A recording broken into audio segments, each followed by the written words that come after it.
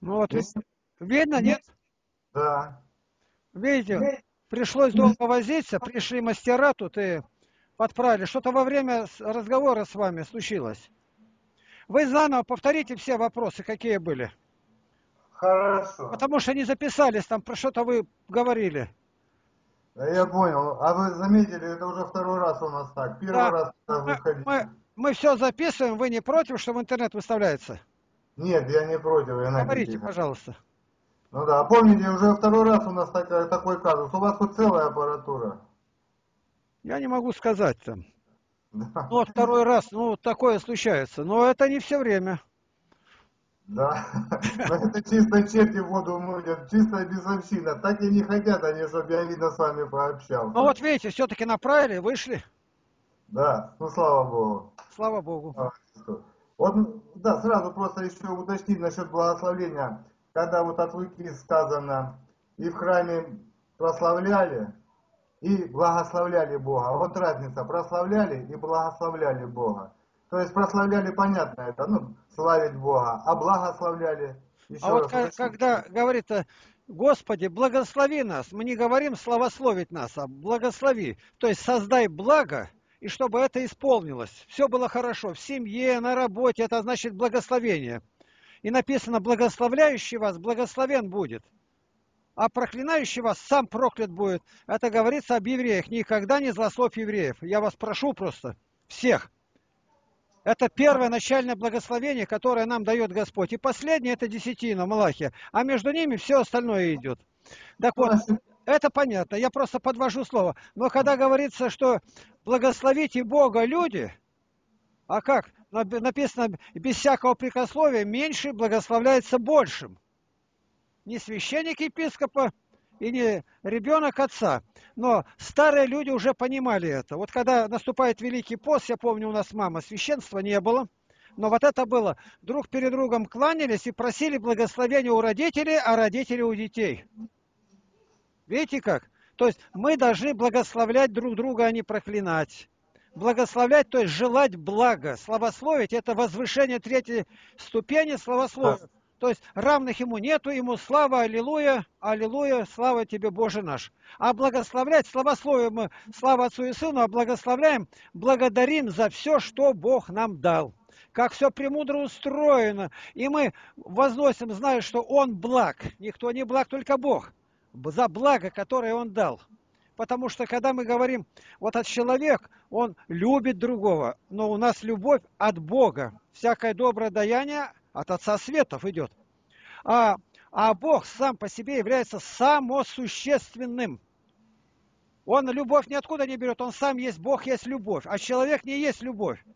У него это идет от кого-то. Этот луч падает на него, и он возгорается. А Бог сам по себе истина. У нас если истина есть, это от Бога. Если мы любим добро друг другу делать от Бога, а Бог ни от кого не берет. Самосущественное благо, самосущественная любовь, самосущественная истина. Я есть путь истины и жизнь. И когда говорит, благословляйте Бога, то есть славьте Его за все благодеяния, милости, которые разум постигает и не постигает. А видите, славословие, когда не понимаем вообще ничего, славословие выше благословия. Выше. Потому что тут мы славим за благо, а там вообще не осознаем ничего. Просто аллилуйя, поем свят, свят, свят, Господь Саваоф, вся земля полна славы Его, аллилуйя. То есть первая ступенька просительная, дай, помоги, сохрани, защити, пронеси. Вторая благодарение за то, что просил, получил, и за то, что не получил, благодари. А третья, я не нуждаюсь ни в чем, только аллилуйя. Но это ангельская ступень. И поэтому в церкви молитвы пере- все время переплетаются. Господи, помилуй, это первое. Дальше идет благодарение. Ты свят, Господи. Мы Тебя благодарим. Благодарим. И третье словословие. Слава Отцу и Сыну и Святому Духу. И ныне, и присно, и во веки веков. Аминь. Ну я понял вас. Благословляйте все равно, что благодарить. Да, а прославляйте уже славить. Да, за благо, за благо. А Он За благ, благо, благ. да. Никто не Да. благ, только один Бог. Благ, то есть хороший. Мы говорим, человек хороший. Мы должны сказать, хороший по благодати Божией. Понял я вас. А Понял. когда говорят вот так, что у каждого человека душа по природе христианка, мы должны пояснить, какая. Первозданная Адама, да, а у нас рождается ребенок с языческой наклонностью. Капризы, он водами все умирают, он уже в нем смертная кровь течет, в нем смертные все эти, которые передаются ДНК и все остальное. Все смертельное. И поэтому сегодня по природе душа язычница, но не христианка. Это мы Тортуляну подсказываем. Ну да, второй вопрос я перед этим задал. Благословение у священника надо всегда выбрать такого, уж не молодого, который явно, да, по канонам он уже до 30 лет поставлен. Какой от него, да, можно ждать благословения, если он, ну, как бы не действительный священник. Уже надо найти такого священника, которому, у которого можно будет, ну, причаститься. Потому что, как вы дальше говорите, святые отцы, священник благословляет, а Господь Бог не благословляет. Ну, какой он священник, если он молодой? Надо найти уже такого, уж хотя бы, это ж не каждый раз, не, не частое дело, уж исповедаться, причаститься, ну, ну скажем, ну, под нормального священника, скажем, рукоположенного и в возрасте принявшего сам с 30-летием. В общем, находить такого, а не просто абы кому. Правильно? Но опять же, в этом показывается свобода совести вашей. Если вы узнали, уже не надо экономия разная. Да вот сейчас не хватает священников. Ты э, не такое слово, по-русски оно не звучит, по-славянски оно крепко, бледословие называется. То есть пустословие. Это слово не ругательно. Оно Я именно в церковно-славянском написано так. Поэтому не надо, и говорит, э, любят, чтобы льстили слуху. А в славянском языке чешем ее слухом. Ты, говорит, меня не причесывай. Слова-то какие. И поэтому найди такого. Вот у нас никто 30, раньше 30 лет из знакомых наших, никто не рукополагается. А у нас были священники, приезжали, они у нас меньше 30 лет. Он как рядовой стоит и молится, три года молился, пока 30 лет не исполнилось. Мы ни под благословение не подходим, ничего к нему. Ну, понял. Кстати, вот сейчас увидел Володя, привет ему большой, за камерой стоит. Поближе, наклонишь, тебя увидел. Да, слышал ролик, когда ты тоже рассказывал о рождении свыше. Как бы оно очень поучительно. У вас своя история была, у него своя. Вот я думаю, просто как бы пожелание, так вот, у вас вообще не вы знаете людей, кто рожден свыше, кто нет. Вот составить бы такой ролик, чтобы каждый рассказал о себе, как он родился свыше. Просто у каждого свои разные судьбы. И вот интересно посмотреть, как у кого это происходит. У нас уже написано. Вы зайдите на наш сайт, сайт, а, знаете? Да я на сайте И там книги, книги. 15-16 а. том. 84 свидетельства уже записаны. А, понял вас. 15 и 16 том.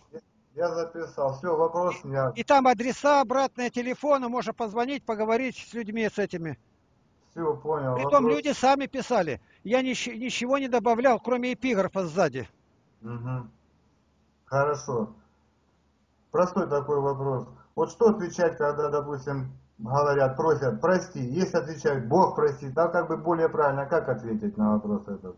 Но не Бог простит, это как бы утвердительно, что мы знаем. А когда говорим «да», это пожелание. Бог да простит тебя.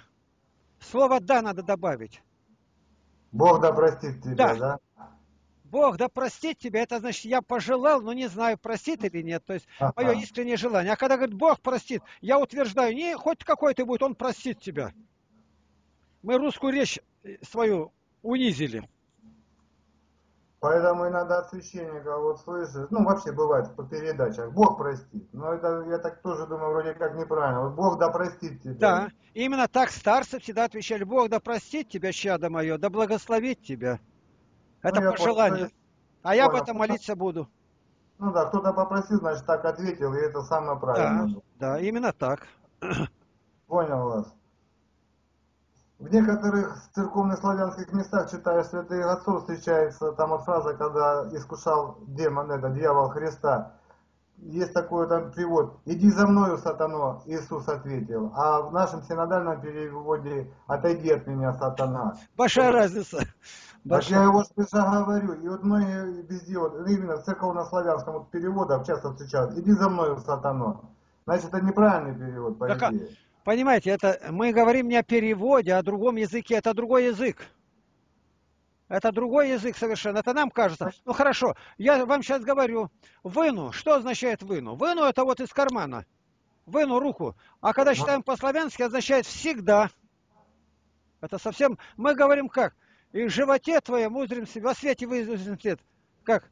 И гробным живот дарова. Ну, он стоит с таким животом, говорит, а мне Бог даровал. Ну, Живот там- означает жизнь, жизнь. Ну, я понял. Ну, там еще такой, иди за мною, сатану, Богу моему поклонимся. А, а здесь отойди от меня, сатана. Ну, правильно, здесь абсолютно два разных смысла. Он как бы его... Разные. Совершенно. Тем более, если сходное, у нас на русском языке сходное звучание, это никак нельзя допускать. Это извращение в уме. Но то- та- тот перевод неверный получается. Иди Я не о переводе говорю. Может, по-славянски там с какими-то дальними переходами, может, оно и означает то же самое, что отойди. А. Может быть, такой смысл. Но так как он сходен с русским, а русский язык говорит, что следуй за мною, то надо убрать было это. Это вводит в заблуждение. Я говорю о переводе. Перевод звучания, может, он и правильный, но в значении русском он переворачивается другое. Не проще, а иди ко мне. Это разные направления. Ну да.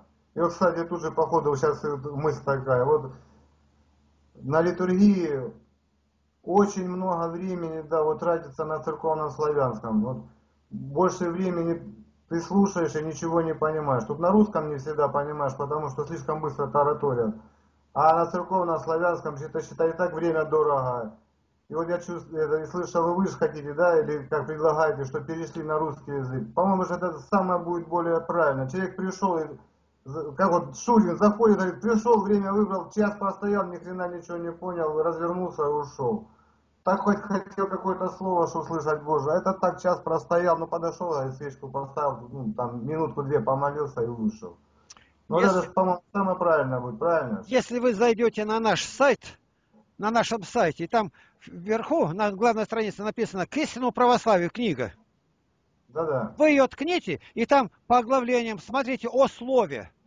Там столько подробно, что святые, Кирилл и Мефодий, что говорил Феофан Затворник, непременно нужно, чтобы понимали. А почему же они так упрямятся? Почему же так священство этого племется? Чистая прихоть какая-то. Осипа, правда, восславляет церковно-славянский язык. Но это уже мертвый язык, его никто не знает. А столько времени, попробуй ты его изучить. Ну, Осипову ли говорить, это трусость. Это от трусости трясется старик бритый. Нельзя бриться, нельзя галстук носить, он все это делает. И теперь вопрос, а зачем он так говорит? Боится, что его спихнут. Ему давно пора на пенсии быть. А он все это, он скольких людей это перепортил, конца краю нет. И вот они оттуда выходят, вот такие вот э, жлобы. Только Ну деньги и корысть, и деньги, трус- трусость и корысть. Таких учеников воспитал. Ни одного героя нет. Почему у протопопа Авакума не было таких учеников? Потому что сам герой. Ну, я так и думал примерно, да. Ну, конечно же, пришел, послушал Слово Божие, те же протестанты, везде. Пришел человек, он услышал Слово, а это много непонятно ничего. Упростить всю эту литургию, ну, понятно, уже как есть, так и есть. Да. Тут уже каждый сам вы- выгребает за себя, ну, сам выгребает чтением вот это вот. Ваши сейчас очень, да, этот сайт богатейший, конечно. Еще раз благодарен, что такой человек, да, Господь послал мир. А вот Просто на, на нашем видеоканале сейчас выставляется жития, по отдельному, жития святых. И смотрите, это я насчитал еще в 80-х годах. Все 12 томов жития святых, они мной насчитаны. 1173 жития. Ну что это? А они говорят, а он сектант. Ну какой сектант будет жития распространять? Ну маленько додумайте. А слово сектант ругательное, он лепит. А когда начинаешь говорить, раскольники, так раскол-то Никон сделал, а не Авакум. И сейчас кто раскол делает? А патриархия делает раскол. А зарубежные 13 разных юрисдикций пошло. Все перевернут. Коли это топор, а не Чурка. Кто Чурку расколол топор? Кто это предложение сделал на признание канонического общения? Кто? Кто это ввел-то? Люди манкуртами стали. Вы знаете это слово? Ну, примерно. Ну, если не знаете, то зарядите слово манкурт. Манкурт. Ю- в Яндекс или и вы выйдете на Чингиза Айтматова роман Плаха. Ну, я понимаю, это все равно, что зомбировано. А, нет, нет, это Буран и полустанок. Буран и полустанок. И там это все прочитайте. Там сейчас фильмы поставлены, показано это. Манкурт это совершенно ничего не соображает. Это зомби это придумано, а манкурт это натурально. А. Ну, У него понятно. шапочка верблюжья приросла, и он не, не может ничего не думать, ничего. А что сказали, туда и бежит. Вот такие патриархийные в основном все. 98%, как патриарх Ну, Алексей II говорил. Они не слышат, не, сл... не понимают. Да вот я как раз вот, когда впервые с вами, да, познакомился после Кураева, когда он да, о вас отозвался, что такой человек, и вот послушал, и уже я регулярно, каждый день слушаю вас, понемножку, но слушаю, как нападают вас, ну все такое, как вы отвечаете с ними. И вот, слушая вас, и вообще то, что творится, и как на вас нападают, вот события 2000-летней давности, они вот прямо жили сейчас. Вот когда читаешь Евангелие, думаешь, как же эти священники, там, ну, книжники нападали на Христа, вот это вот а, на апостолов. А вот сейчас это время, вот слушая вас, что творится в данном случае вот в церкви нашей православной на Руси. События вот реально живы. Вот смотришь и представляю, вот оно время вернулось, как бы, пожалуйста, в реальности, в действительности все это. За что они нападают-то? Они уже сколько судебных процессов готовили на меня в Почаево везде. Ну выйдите. А мне говорят, что они говорят, самоубийцы. Так вот именно, возьмите, выйдите в открытый бой, как говорится. А то книги мои судят. Я говорю, да этих книг еще столетия будете расти. А они написаны в пророческом духе. Как? То есть я брал от пророков и вставлял, никому не угождаю. В каждой книге около трех тысяч ссылок на Святую Библию. Что тут говорит-то? Так вот именно, да. И чем больше, да, и раньше и вас вот слушаешь, убеждайся именно, что Господь будет судить по слову, которому, которое я, не я буду судить, а слово, которое написано, будет судить вас. Нет ничего святее, важнее Библии, правильно? Уже отошли от, многие от Библии, да. А тут еще слышу там, есть одна друг, женщина, священник запрещал читать это, Библию в синодальном переводе. Это, говорит, вредно для вас с ней пообщался, просто удивительно, как священник может такое говорить. Вот когда может. вас слушают, что вы ездили по деревням, оно как-то, понимаете, далеко было. А когда я своими глазами с другом, ну, женщина друг, мне это пишет, говорит, но это в голове не укладывается. Как можно такое было? Это вообще из уст священника такое. Ну, правда, ответил, что это черт в рясе. Так, есть. Александр, не удивляйся. Когда апостол Павел прощался, то он Мелит вызвал из Ефеса пресвитеров и епископов и говорит, это 20 глава, 29 стих, и будут на, на них говорит, говорить превратно, чтобы увлечь учеников за собою. Это их доход, это бизнес церковный. Чтоб свечки покупали, платили за мертвых, за живых. Это мародеры церковные. Господь вымел деньги все, должны платить святую десятину, и на этом все закончилось. Наша община, она настолько уникальна, что они от злости лопаются. Они никогда не дорастут до этого. У нас как один человек, все, все молят, вот смотрите, мы ставим, как причащаются, как собрания идут, и мы все выставляем, ничего даже не отрезаем. Почему? А мы не боимся. А они боятся везде, где-то прячутся, закрываются. Почему? Потому что трусость и корысть делает их такими жалкими. И поэтому они ни на баптистов, ни на мусульман не нападают, только на меня. Они Осипова не трогают. А что они будут трогать? Они из одного кошеля все вывалено. Ворон ворону глаз не, вы, не выклюют. Я говорю только то, что Господь хочет, чтобы мы все спаслись. Никто не оказался опоздавшим. А они ненавидят. Господь говорит, я чту отца моего, а вы бесчестите меня. Вот и все. Это так было. Апостол Павел говорит, если бы я угождал людям, то не был бы рабом Христовым. Это, это несовместимо. Они рабы, жалкие рабы манкурты которые нападают, их называют патриархийная кодла. То есть куча собаки собрались, а ничего не делают. Каждый день вокруг моей колокольни. Кто у меня в друзьях, вот с вами поговорю, они сейчас на вас всякую, а это Лапкин такой-то, они обязательно вас искать будут, чтобы залить грязью. А, они ну, ничего не успеют. Да мне это по барабану, как говорится. Вопрос такой. Вот Иисус Христос, ну, не, не важный вопрос, но все же, вот длинные у него были волосы, или как вот на плащанице, кстати, с этой плащаницей. Ну, по плащанице, судя по всему, у него были длинные волосы. Ваше мнение какое? И, кстати, что с этой В первую плащаницей? очередь, он не был Назареем. Он не был Назареем. Ни одного дня. Волосы на определенный срок, ну, допустим, самое большое было 5 лет обед брали они. И волосы не стригли. А через пять лет волосы остригали. Он не был Назареем. А почему не был? Да потому что, говорит, он друг пьянисом. Он пил вино, а Назарей не должен был губы мочить даже. Он не должен был виноград есть. Даже косточки с винограда нельзя. Люди не понимают ничего. Или вот введение во храм Богородицы. Трехлетнюю девочку, 15 ступеней, и вели во святая святых. Что ей там было делать, когда там окон нету? Там куклы играть нельзя было. Когда священник, патриарх тогдашний, один раз только в году мог зайти туда. Если бы она хоть один раз зашла, ее сразу бы убили. Люди вообще не понимают ничего. Вот Антоний, Антоний Блюм, митрополит, это об этом говорит, что это выдумка все, монашеская. И зачем это было надо, кажется, так спрашивается. Вы придумали этот момент. Ну, оставили бы этот эпизод. Нет, зачем-то придумали. А монахи, монахи. Бог сказал, идите по всему миру и проповедуйте Евангелие. А они стены построили, самое сильное, крепкое, мужественное, засасывали, там гибли, не давая потомства. А вот оно, да. мусульман, мусульманство и пришло. Это, это все их вина. Да, насчет монашества это весьма печально, что столько времени, да. Так речь идет о сотнях тысяч монахов, которых заблокировали. А это могли быть проповедники. Иоанн Златоуст это понял, когда в ссылку потащили. И давай монастыри распускать, отправлять Евангелие, пускай идут проповедуют. Ну, Просто уточнить. Тогда, значит, у него волосы не такие, как на иконах рисуют, да? Мы не знаем, но только скажем, а. длинные волосы были только у Назареев.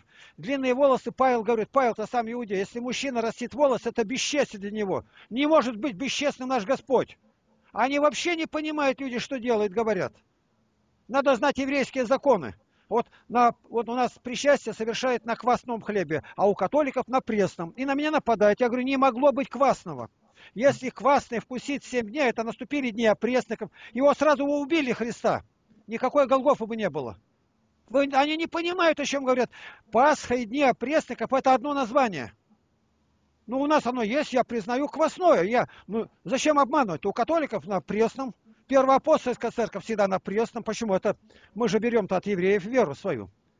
И написано, что уничтожит всякий хлеб. Кто квасное вкусит, да будет предан смерти. Еще непонятно, что это страшная угроза. Они даже ребятишек своих посылали в подпол смотреть в крысиные норки. Не затащили ли туда, чтобы все запечатано было? Чтоб крошка не попала. Ну, я понял. А они не понимают люди ничего этого. Почему? Страха Божия нет, и Бог не просвещает, покинул. Тут дело не в понимании, в дело отдачи Господу. Если ты отдался Богу, все то Серафим Саровский сказал, стяжи дух мирный, и вокруг тебя спасутся тысячи. Я говорю, и что? Было такое у него? Не было. А у кого было? За 200 лет ни у кого не было. А к нему и шла вся Россия. Ну, вся Россия поднялась на дыбы в 17 году. Друг против друга красные. Какие мирные, когда бойня началась, гражданская война. Что непонятно, то что это слова он не, он не мог это сказать. Это выдумка. Ну да, да полное безбожие. Да, Александр, э, прямо говорит Давид, я мирный, но только я заговорю, а они к войне. Я молчу, я хороший, но как я только сказал, что надо Христу всем умом служить, вот выходит староста в церкви и говорит, братья и сестры, у нас тут люди появились с бородами, пояса носят, это как американские шпионы. Еще придумали жить по Евангелию, дорогие братья и сестры. Да кто, когда жил по Евангелию, вы подумайте, что они говорят. Это в храме. Выходит настоятель и говорит, тоже люди появились у нас. И говорят, что надо жить по духу, а не, не по плоти. Да кто когда жил по духу? А ему священники в алтаре говорят, батюшка, так так написано. О, опять накапают архиерею на меня. Ну, понятно. Они не знают Бога, страха Божия нет. Еще с них спрашивают, за них только молиться можно. Пока вот это вот плащаница, все. Тут понятно, непонятно, истина она, не истина. Читал я много о ней, там и Кураева они там целую там небольшую проповедь о плащанице говорит. Вот спас же нерукотворный, как будто бы с нее нарисован. Нет, не нарисован. Это царь Едесский, Авгарь. Авгарь. Он болел а. проказой. И когда он послал ко Христу туда, Христос взял убрус, убрус это полотенце, и приложил к себе, и отпечаталось. Это может быть, это Христос. А тот утерся и выздоровел. Но когда узнал, что евреи его распяли, он решил с войной пойти отомстить евреям. То есть он не обратился к Богу. Ну, а теперь плащаница, это никакого отношения к твоему не имеет, к нерукотворному образу. Никакого. А. И поэтому никто не знает, кому принадлежит. Да, это кровь, определили определили примерно, откуда происходит из Палестины. Ну, анализ показал, там пыльца какая между ниточками попала, это можно. Но чья кровь? Это может быть разбойник лежал какой, никто не знает. Ну, Все понятно. остальное только до, придумки. До кого-то исцеление. Исцеляются люди везде, у кришнаитов, у буддистов исцеляются, у мусульман. Это не доказательство. Господь по любви дает исцеление, а не ради плащаницы какой-то. Ну, это я спросил уже так, для общего сведения насчет ну, да? Я не верю в это, потому что была назначена комиссия патриархии. И там э, два сопредседателя было. Павел Флоренский, э, директор геологической академии, и этот, э, Иоанн Экономцев, архимандрит. И они исследовали мироточение. И в конце вывели, вывели, наконец, не, не чистая ли сила над нами издевается, а мы голову ломаем. Народ наш тупой, невежественный. Я говорю, здорово, приехали. Почему баптисты никогда не скажут, что народ тупой? Потому что учат их. А когда слепорожденный пришел, они говорят, народ этот невежда в законе. Вот он невежда, а вы его довели до этого состояния-то. Не учили, а все по славяне травили его непонятным языком. Отстоял службу, отстоял, как будто столб какой. Ну да, именно, что отстоял. Спал Такой, стоя. Ну да. Такой вопросик. Вот попалось в Евангелие слово «товарищ». Уже в то время, значит, слово «товарищ», да, существовало. Как бы, ну, в их понимании, в том времени, что означало? То, ну, не то же, что, наверное, как у нас сейчас при коммунистах употребляли слово «товарищ». Ну, знаете, если тысячелетия люди разговаривали, какое-то слово надо было брать и какой-то флаг надо было придумать. А все это, Соломон говорит, уже было под солнцем. Товарищи, это разве плохо? Идут два товарища, то есть близкие друг к другу, готовые встать друг за друга. Я просто когда читал же вот Евангелие, попало слово товарищ, ну как-то на глаза, да. думаю, уже в то время товарищ, оно как бы уже существовало, да, ну в том плане приятель, можно сказать. Там. Но какой смысл? Это да. у них вошло, как господин говорит, всех называть господами. Вот, допустим, Англии лорд или гэр там, а он, а он, может быть, не тебе не господин совсем, а его так принято называть. Ну и все, ваше сиятельство. А какое сиятельство? Там прокуренный князь Блудов. Понял. Ну теперь это... Являются вот ли души умерших, или это явление ангелов? Вот как тоже по святым отцам читал. В образе тебе, может быть, умерший человек является, но это может быть, скажем, образ вернее, ангел в образе твоего близкого отца или прочее может явиться, да? Нет, больше, души... как правило, как правило, в абсолютном большинстве является демон. Демон, чтобы обольстить. И поэтому на это нельзя прилагаться. Это вы во сне говорите? Да. Если во сне вы видели крест, крест, это да. на сто процентов от Бога. Если креста не было, тут уже надвое. Это бывает не надвое, а на трое. Первое от Бога, сон может быть Второе, дьявол навеял. И третье, от заботы, от переедания. Понял. Ну, вот о смерти. Бывают многие святые, одни боялись смерти, но Павел не боялся, он хотел разрешиться уже от смерти. Он перешел, видно, до таких, видно, эту грань, что ему смерти, смерти он не боялся. А многие те же самые святые сейчас, ну, не помню кого, многие, перед смертью даже боялись ну, как бы самой смерти именно боялись перехода вот этого. Это естественно, естественно. Страх смерти страшен. Вот почему Пафнутий Боровской никого не принимал последний день, говорит, сегодня день страшный для меня. И все человеческое, и суд Божий далеко не человеческий. И князь пришел, и ему не разрешили зайти. Вот и все. Мы идем на суд Божий, он называется неподкупный. Там никакие никто не поможет. Вот интересно, э, когда Хрущева-то выгнали, он дома там был, писал эти свои мемуары, а ему не везде. Он смотрит, и в туалете стоят. Ну тут-то что вы могли слушать-то? Мои звуки я издаю, старик говорит. Им говорит, а вот ты тут солгал. Он говорит, а мне зачем лгать? Мне пора уже идти ответ давать. Вот и все.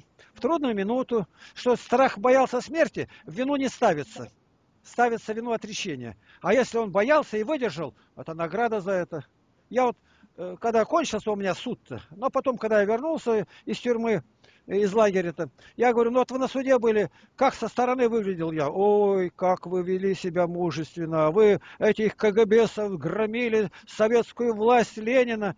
Я говорю, совсем не так. У меня внутри все сжималось и тряслось, и я боялся, потому что у меня грозила статья в два раза больше срока. Но нигде это не проявилось никак. А да зачем вы говорите, люди к вам будут по-другому относиться? А зачем мне ложный? Не надо. Я трусливый, боязливый, но Господь, благодать меня укрепила. Я нигде не сдался. Меня никто не вербовал. Первый допрос я начал КГБшников обращать к Богу. Все. И поэтому они поняли, здесь не надо даже позориться. Всем предлагали сотрудничать. Мне никогда не предлагали. первый допрос, и я больше половины времени трачу на то, чтобы сделать его христианином. Следователь обратился к Богу. Начальник тюрьмы умер по-божески, по-христиански. Вот и все, я могу показать результаты. Но я все время боялся, что я бесстрашный, я не боюсь. Бывают моменты, где вот на ножах дрались, я в середину там втесался и разнял их. Я делал, как будто не я был. И все. Я боюсь всего. Каждый день боюсь. А сейчас, вот, допустим, ну, разницы нет, что я, мне 50, что вам там, каждый день можно, допустим, умереть, это понятное дело. Но у вас сейчас присутствует, ну вот, если задумываетесь об этом, страх смерти. Я не о смерти говорю, а о том, как бы Господь не отступил. Я не о смерти говорю, а страх-то. Совсем нет. А изменение обстановки, в которой я окажусь не таким. И поэтому я все время прошу, укрепи меня, Господи. Страшится плоть моя, и душа моя трепещет, как Давид, когда говорит, стал я где-то, пучина увлекает меня, укрепи меня, Господи. И обстановка. Вот человек куда-то идет, вот сейчас бы я встретился с Путиным, а он сказал, ну, я сейчас еще у власти, проси, чего ты у меня хочешь. Вот никто не догадается, еще бы я попросил. Я говорю, я додумать не стал, сразу попросил бы у него. Помоги сделать раскрутку сайту моему. Чтобы миллионы людей узнали. Мне не важно, обратятся, нет. Чтобы они узнали, что было такое невиданное сокровище. Наш сайт, наш YouTube. Чтобы они на суде Божьем не имели отговорки. Им дать понять, что это хорошо. Чтобы враги умолкли все. Такого да. сайта нету. 50 книг насчитано моим голосом. Понимаете? Да вам бы в эфир вы выйти в прямой, вот как на телеканале «Союз», хотя бы пригласили бы раз, чтобы именно на всю страну вещать. Хоть не бы знаю, раз... не знаю. Я знаю, что, конечно, они вас не пригласят, потому что это, это будет сенсация, это гром с ясного неба. Как Кура говорит, не то, что ледяной душ, там всех подморозят головы немножко. Ну вот говорят, что бы ты просил, когда идешь в тюрьму? Ну я с людьми-то беседовал. Ни один не просил того, что я просил задолго до ареста я все время молился и молился, Господи, не оставь меня, дай мне дух молитвы. А баптисты, которые отсидели уже по два срока, говорят, а что это такое? У меня день превратился в сплошную молитву. И везде, где бы ни был. На пять частей, по полтора часа, псалтырь за два дня просчитываю, тысячи поклонов, и каждый день, а с восьми до десяти проповедь идет. И никто не слышал про это, почему? Благодать Божия. Она обильно меня обхватила, я как на крыльях летел. Пять тюрем, лагерь смерти, как называют, это не игрушка. я как будто ничего не видел. Это Бог сделал. Моего там ничего нету, только благодать Божия. Просто чуть-чуть уточнить. Я имею в виду сейчас, вот как понимаю, ну как я вот понимаю, думаю, ну просто не то, что не хочется умирать, но как-то жалко оставлять этот мир. Вот в этом плане. Я знаю, что написал да. письмо-то, что меня в ИГИЛ-то переправили. В Сирию. Ну, да. Президент ну, написал. Ответ да. пришел, что получили, поблагодарили, но положительного нет. За это время изменилась обстановка с Турцией из-за сбитого самолета и прочее. Я знаю, иду на верную смерть. И об этом молюсь не я один. У меня программа, чтобы не меньше года пробыть среди них. Более подходящие кандидатуры я написал, трудно найти. Во-первых, это возраст. Возраст. Я ясно, что не боевик. Я знаю, как относятся они как к сокалам.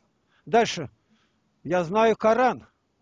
Целая книга у меня написана в сравнении с Библией, 18 том открытым оком. Дальше. Мои все родственники, которые там были по деду, всех были прекрасные отношения с мусульманами. То есть у меня все содействует тому, что можно попробовать меня отпустить туда.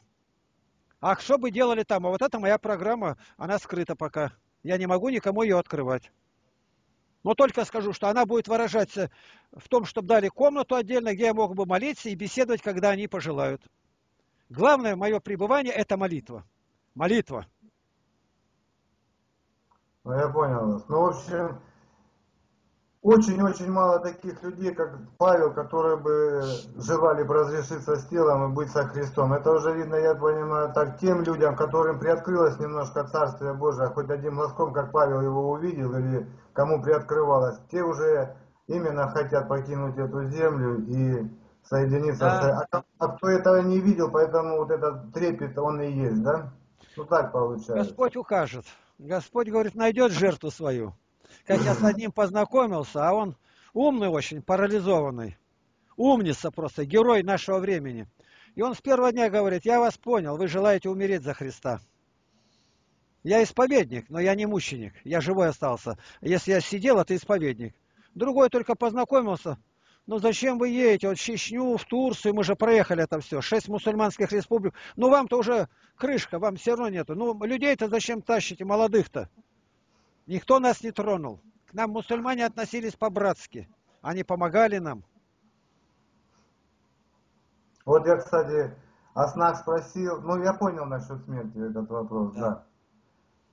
Аснах спросил, это было давненько, было мне 38, приснился сон, мне товарищ Царства Небесного уехал на север, пуш, пушниной занимался там на звероферме. Ну, пол, правда, недолго прожил, через полгода пропало, по весне нашли полтела в одном месте, полтела в другом, в общем, перепилили его.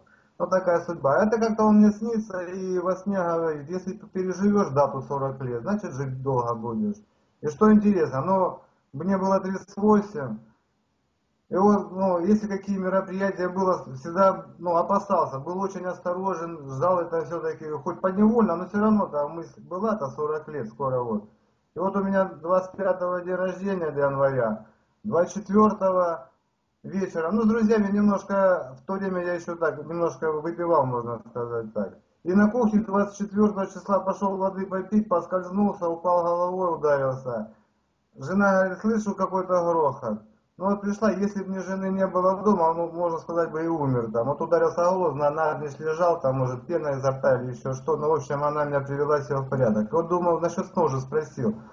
То есть, Крестова я не видел, мне вот этот товарищ уже умерший приснился, и вот думаю, ну, у нас насколько точно, завтра день рождения, туда день рождения оставалось 2-3 часа, а я вот со мной такое 24-го случилось. И вот думаю, как бы пророческий, что ли, сон такой, можно, можно сказать, был. Возможно, да? Возможно. Вот ангел бывает, ангел пробуждает. Вот я, я же к тому и говорю, что вот это явление умерших, понимаю, что души, они сейчас где-то в определенном месте находятся, они не могут являться нам. Это, скорее всего, под видом, ну, ангел под видом умерших является. Ангел, Нет, мы не ну, будем по... так говорить, мы не знаем. Скажем, мы не знаем, мы будем очень осторожны. Под видом да. умерших почти очень-очень часто является демон. Я знаю, да. Это в жития святых написано, Иоанна Богослова, там у всех. Я не всегда, да, я понял. Много предупреждений, не надо доверять. Ты прими к сведению, но... Да. И все. Ты ему скажи, да, допустим, если уже на то нашло, крест, сотвори Христов, считай за мной молитву, слава Отцу и Сыну. Он не может прочитать. Это я всегда держу, вот, да, вот, За дверями стоит, а у монахи так, приходит, дверь стучат, он кто? А этот отвечает, считай молитву отсюда. Тот отвечает, слава Отцу и Сыну и Святому Духу, а который здесь, в, доме-то, и ныне и присное во веки веков, аминь. Он говорит, считай молитву, а тот за дверями, и ныне и присное во веки веков. Он говорит, я тебе говорю, считай молитву, а сатана не может первую часть молитвы, там Отец и Сын и Святой Дух. А он считает концовку, а там неопределенно о чем говорится. И ныне и присно, может, ныне и присно, чтобы выпивать, там мало ли что. И он, дьявол-то и хотел подмануть, но не вышло. Ава, то есть был опытный.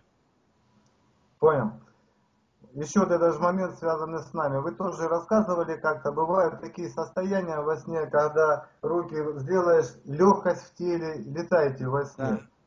В свое время, ну сейчас последнее очень редко, но раньше, можно сказать, я практиковал или этим, этим занимался, ну, пытался, во всяком случае, этими духовными различными опытами снится сон, да, входишь в это состояние, отрываешься от земли и уже потом уже смотришь, чувствуешь, ты уже знаешь это состояние. Немножко как бы внутренне напрягаешься и потом летаешь, да. А летаешь с определенной скоростью, с какой угодно, от квартал. И поворачивать, можно поворачивать под прямым углом. Абсолютно. И взгляд куда кинул, в то же мгновение ты еще там. А вот поперва, первые опыты такие, поворот тебя заносит, ты вот там забор, как бы скулеживаешься, а смотришь, и как-то тело пролетает сквозь забор. Вот это было первое, думаю, впечатление такие. Надо же как.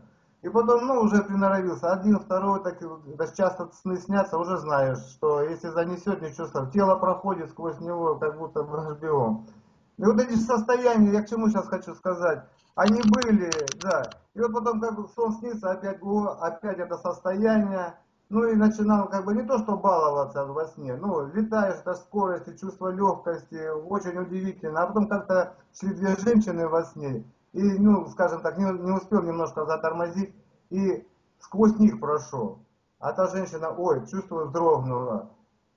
Но я думаю, удивился, даже через людей проходишь, и вообще незаметно для себя. И вот так рукой провел сквозь ее тело, и даже рука проходит. И вот в тот момент, когда я так провел, ну это все снится, уже эта бабушка, ой, чертовщина какая-то своей подруге говорит. И вот они расстались, все, разошлись во сне. Но я потом проснулся, утром анализирую, думаю, это не очень хорошее дело, скажем так, заниматься в этих... И потом все реже, реже, реже, эти, скажем, ну, в эти состояния уже, скажем, редко стал попадать. Но я думаю, не очень хорошее дело, да, правильно? Так, ну, Именно так, святые это можно... не одобряют. Не одобряют святые это, но иногда Господь показывает, что Павел, говорит, был восхищен до третьего неба. А в теле или в не теле, говорит, не знаю. Бог знает. Надо научиться говорить, Бог знает, а я не знаю. У меня было такое, я никакого внимания не обращаю, мало ли еще, может, я с кровати упал. А я, говорит, ты как ты упал? Я, говорит, не знаю, ложился на кровать, а ночью посмотрел, а меня на кровати нету. А вы знаете, еще момент, связанный со снами. Бывает, снится звездное небо, но все звезды не просто, они хаотично, а именно все в картинах каких-то, в пейзажах, там, в различных рисунках, но все звезды выстроены в определенные картины, получается звездные картины. И вот взгляд не можешь оторвать, а потом через какое-то мгновение такой страх нападает, ужас, что просыпаешься. Это от вот. лукавого. Когда ангел Господень, то он говорит, не бойся, возвещаю раз, не бойся, а сатана наоборот больше страх нагоняет. Тут не Сначала... надо, просто перекрестись и скажи, Господи, помилуй меня, ничего не говори. Даже явится ангел, не верь. И говорит, Господь похвалит, потому что под видом ангела, как Исаакию Пещерскому, явился демон. И вот считаем мы к Симеону Столпнику 1 сентября житие. Это э, смертельно опасно. Если ты не поклонишься ему, а пришел сатана в виде Христа, Христос, и говорит, поклонись. Он говорит, а зачем? Я, говорю, тебе и так, Господи, кланяюсь, а ты кто такой, знать не знаю. Это сатана. А вниз-то глянул, когда один поклонился, а там вместо ног копыта, куриные ножки. Ну, просто хочу сказать, такая красота, ну, звезды, но они все именно в таких картинах, только картина не красками писана, а именно звезды со всеми различными... А всякое делать. Под видом ангела, говорит, в виде ангела является. Лучше такая... не рассказывать никому и не смотреть кино это. Ну, я понял. Ну, кстати, уже очень, почти давно уже я этого и не помню. И вот последний нюанс. Когда вот я рассказал насчет летания во сне, что проходишь сквозь тело, вернее, сквозь там предметы там и так далее, как бы сначала было удивительно, а потом нет. Ну, вот потом я все-таки как бы решил не практиковать это, и со временем, да, уже эти моменты отошли от меня. А вот один единственный случай был такой – тоже связанные со сном, как будто, ну, чувствую я воз, вознесение такое, ну, вверх поднимаюсь. И вот смотрю, допустим, ну, темно, ну, не очень понимаю, что звезд ни одной нету, ни звезд, ни луны, вообще ничего нету. И вот один такой идеальный свет, ну, скажем, синий. Если чуть выше глаз поднимаешь, уже он переходит, вот как цвета радуги, уже светло-голубой. Только и ты вот находишься и сам в этом свете, и смотришь туда и вдаль, но этот свет не просто как я здесь, а небо там, а ты как бы в самом свете там находишься.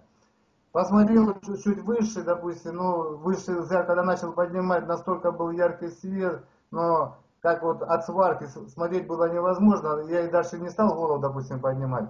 Опустил вниз, и вот что интересно, вот в темном фоне я вижу земля, она сжимается, и уже как бы сжимается до футбольного уже мяча, и такая мысль мелька. А, а перед этим момент, когда я вниз посмотрел, я смотрю, что тела как такового у меня нету. Ни рук, ни рог, ну, не, вообще без тела. И эта мысль, она меня нисколько не удивила, что как бы я без тела. Хотя сознание, естественно, все работает, потому что я ощущал вот эти именно все красоты. И вот когда я увидел вниз и смотрю, что земля вот так уменьшается, уже думаю, сейчас еще секунда, другая земля исчезнет, ну, то есть, тогда все, ну, грубо говоря, не то, что я умру или погиб, но я больше не возвращусь на землю, но это практически будет означать смерть. Но это все мгновенно пролетело, и вот этот вот страх, и, в общем, очутился я на земле, проснулся, сердце бешено колотится. Думаю, вот, вот этот момент, как бы объяснить еще? Вы постарайтесь никогда больше никому не рассказывать.